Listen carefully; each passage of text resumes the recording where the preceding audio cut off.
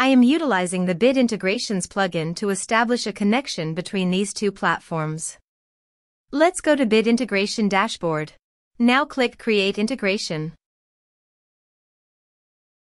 Now search and select Trigger, which is WP Funnel. Copy the webhook URL and fetch the data. Now go to WP Funnel Dashboard. Click on Edit. Now click on three dots in the top right corner, then click on Webhook. Add webhook.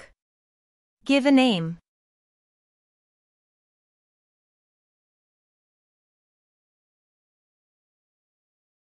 And paste here the webhook URL. Select Request Method. Select Request Format. Select Webhook Event. Then click on Save. Now go to your form and fill in the form to fetch data.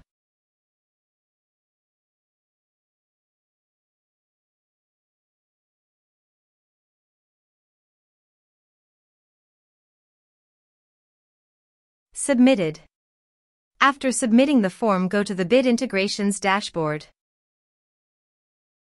And here you can see data has been fetched successfully. Now click on Set Action.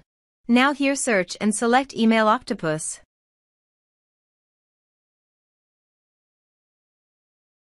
Here, give them a meaningful integration name as you want.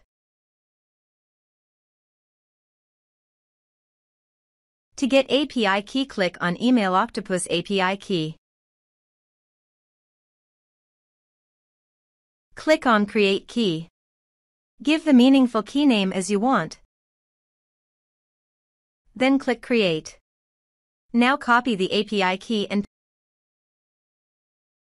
paste it here. Now click Authorize. Authorization is successful. Click Next. Now select the lists.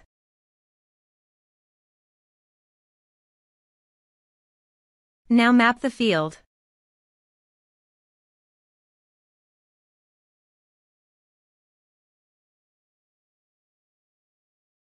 Here are several advanced features available for you to utilize according to your specific requirements.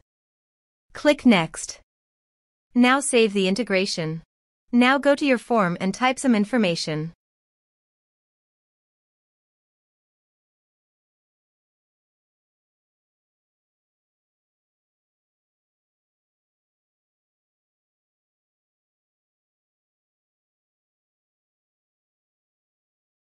And submit the form.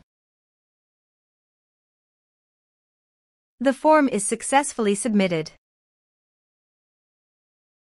Now navigate to Email Octopus page. Now select the lists. Here is the data that came into Email Octopus through the integration. Thanks for watching our video.